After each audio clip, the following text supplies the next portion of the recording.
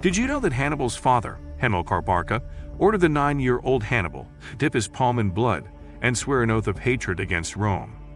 After being sworn to a lifelong hatred of the Romans, Hannibal launched one of the most famous attacks in military history. Hannibal, the Carthaginian general, was one of history's most outstanding military leaders.